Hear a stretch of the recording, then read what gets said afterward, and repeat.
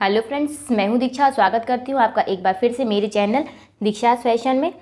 पिछले दिनों मैंने न्यू बॉर्न बेबी से रिलेटेड एक बेबी किट वाली वीडियो डाली हुई थी, जिसे आप लोगों ने काफ़ी पसंद किया और उस पर मुझे कमेंट भी आ रहे थे कि मैम आपने से में जो भी आइटम दिखाए हुए हैं प्लीज़ उन्हें बना करके दिखाइए। तो आपकी उस डिमांड को पूरा करते हुए यहाँ पर मैं आज आपको उसी बेबी किट से रिलेटेड है, वो यहाँ पर बना करके दिखाने वाली हूँ।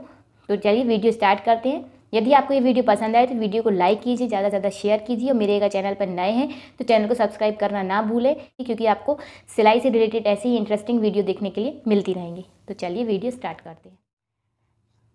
तो बेबी बिब बनाने के लिए पहले हम कर लेते हैं ड्राफ्टिंग और कटिंग तो कटिंग के लिए मैंने यहाँ पर ये पेपर लिया हुआ है। आपको इस पेपर को या जो भी आप जिस कपड़े पर आप कटिंग करें उसको आपको इस तरीके से कर लेना है डबल फुल में। और जो ये बंद वाला भाग है, वो आपको रखना है अपने साइड और खुला भाग आपको रखना है।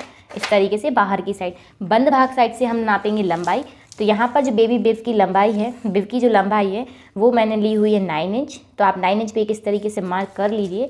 और इसकी जो विर्थ है, वो हमें लेनी है फोर इंच ये डबल फोल्ड में फोर इंच है. जब आप इसे खोलेंगे तो ये आठ हो जाएगा. इस तरीके से मैंने इसकी लंबाई चौड़ाई ले ली है. अब हमें यहाँ पे बेबी को पहनाने के लिए गले की ड्राफ्टिंग करनी होगी तो गले के लिए मैंने यहाँ पर, गले की जो चौड़ाई है वो बंद भाग साइड से मैं यहाँ पर ले रही हूँ दो इंच और इसकी जो लंबाई है वो हमें रखनी है ढाई इंच तो इस तरीके से हमने इसकी लंबाई रख ली है ढाई इंच और इस बॉक्स को हम इस तरीके से मिला करके बना देंगे।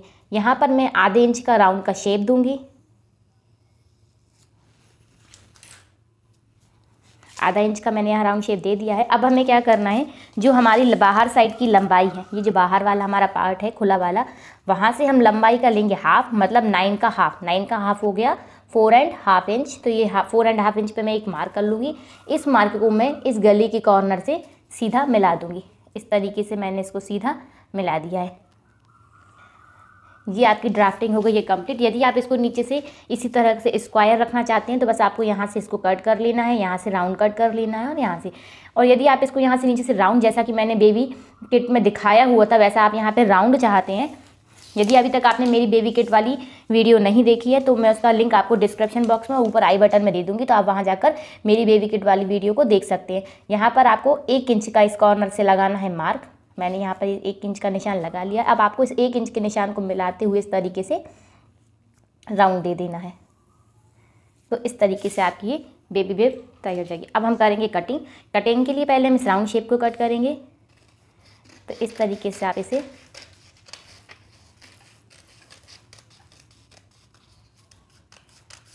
अब हमने जो ये जो हाफ़ लाइन लगाई हुई थी, उसे कट करेंगे हम। और उसे कट करने के बाद हम करेंगे ये इस गले की को कट। इस तरीके से हमारी ये बेबी बिब बन जाएगी। यहाँ हमें गले में पाइपिंग करनी है और नीचे पूरे में पाइपिंग करके ऊपर डोरी अटैच करनी है। तो अब इसे हम कर लेते हैं कपड़े पे कट। तो मैंने ऑलरेडी इसको इस स्क्वायर शेप में कट करके रखा हुआ है। मुझे क्योंकि स्क्वायर शेप में बनाना था, आप चाहें तो इस तरीके से राउंड शेप बना सकते हैं। तो मैंने यहाँ पर फैब्रिक के दो पीस कट किए हुए हैं और मैंने एक ली है फॉर्म शीट तो आपको इस तरीके से फॉर्म शीट को दोनों फैब्रिक के बीच में रखना है और उसके बाद आपको इसको स्टिच करना है। तो चलिए स्टिच करने के लिए हम चलते हैं मशीन के साइड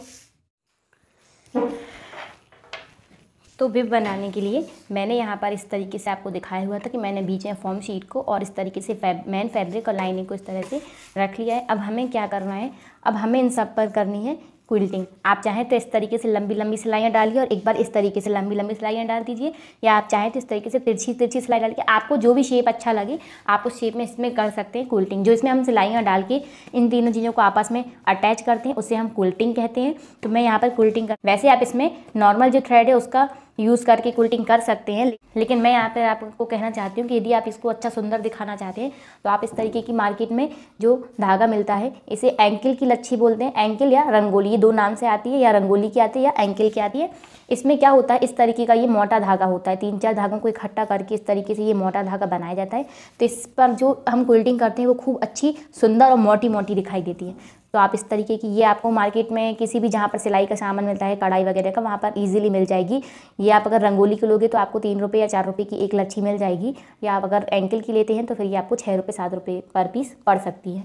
तो इस तरीके से आपको क्या करना है, इस वाले जो धागे को है आपको इस तरीके से, जो नीचे हम बॉबिन सटर में लगाते हैं, उसमें इस तरीके से भर लेना है और फिर आप इसको इस तरीके से सटर में पैक कर दीजिए और नीचे फंसा दीजिए। तो इस तरीके से मैंने इसको, देखिए इस तरीके से फंसा के मैं इसे नीचे यहाँ पर फंसा लेती हूँ।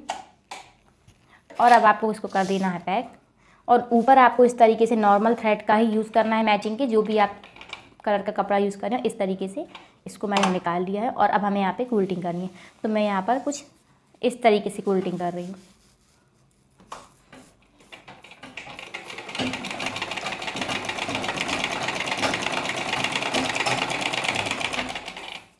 कोल्टिंग करते टाइम आपको इस इस बात का ध्यान रखना है कि आपका जो मेन फैब्रिक है, जो सीधा वाला भाग है, वो आपका नीचे तरफ़, उल्टी तरफ़ होनी क्योंकि आपकी जो कोल्टिंग है वो सीधे तरफ़ आएगी और आपको जो उल्टा वाला भाग है वो इस तरीके से ऊपर रखना है। इस तरीके से देखिए, एक बार मैंने इस साइड पूरी में स्टिच कर लिया है, अब मैं एक बार ऐसे में स्टिच करूँगी।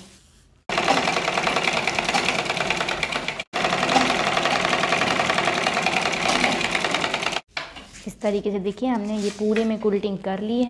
अब हमें क्या करना है, जो हमारा जो एक्स्ट्रा पोर्शन है, हम इसे कट कर देंगे। इस तरीके से देखिए, ये यहाँ पर बिल्कुल एकदम रेडी है। अब हम इस तरीके से हमें कुछ पट्टियाँ लेनी है। ये लंबी लंबी मैंने पट्टियाँ कट कर ली हैं और इसकी जो चौड़ाई है, मैंने ये डेढ़ इंच रखी है। मैंने जो पट्टी को ना, ये गले वाली जगह पर है, यहाँ पर अटैच करके यहाँ पर पाइपिंग करेंगे। तो पहले मैं इसको इस तरीके से गले में रखकर अटैच कर लेती हूँ पूरे में। इस तरीके से मैंने इसे कट कर लिया है। अब एक्स्ट्रा फैब्रिक को मैं यहाँ से कट कर दूँगी। अब हम इसको इस तरीके से ऐसा फोल्ड करते हुए यहाँ इस तरीके से कर लेंगे। पाइपिंग पाइपिंग आपको थोड़ी सी मोटी रखनी है, तभी ये बहुत ज़्यादा सुंदर लगेगा।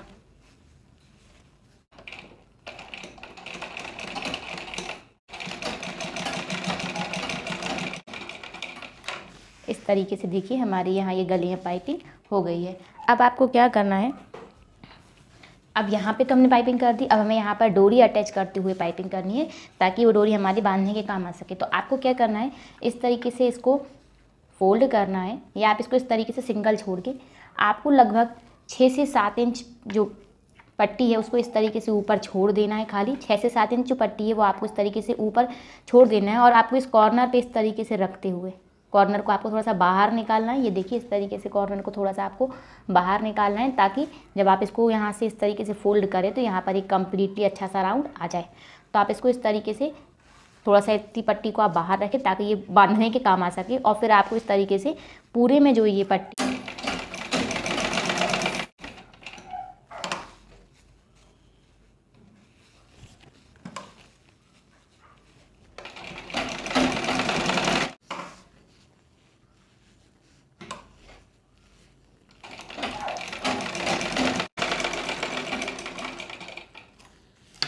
तरीके से देखिए, मैंने इस तरीके से पूरी पट्टी लगा ली है। अब मैं जितनी मैंने यहाँ पर पट्टी छोड़ी है, उतनी ही पट्टी में यहाँ पर छोड़कर ये एक्स्ट्रा जो मेरी पट्टी है उसे मैं कट कर लूँगी। अब हमें क्या करना है फ्रेंड्स, हमें इस तरीके से इस पट्टी को यहाँ से ऐसा फोल्ड करना है।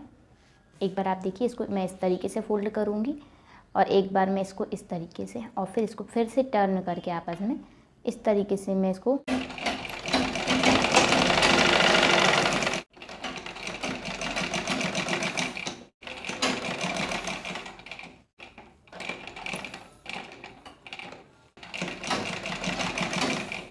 इस तरीके से देखिए फ्रेंड ये यहाँ पर बेब बनकर रेडी है। यहाँ पर आप इस तरीके से इसको डोरी को बाँध कर बेबी को आराम से अपना खाना वाना खिला सकते आप इस तरीके से दो स्क्वायर पीस लीजिए और आपको क्या करना है, इसको इस तरीके से एक बार फोल्ड करना है त्रिकोण में। और फिर इस त्रिकोण को, ये जो बंद वाला एरिया है, इसको रखना है आपको अंदर की तरफ़। और इस तरीके से ये जो बंद वाला भाग है, आप इसको इस तरीके से डोरी पे रखिए अंदर की तरफ़। और डोरी को थोड़ा सा बाहर निकाल के इसको इस तरीके से आप इस पर फोल्ड कीजिए और यहाँ पर सिलाई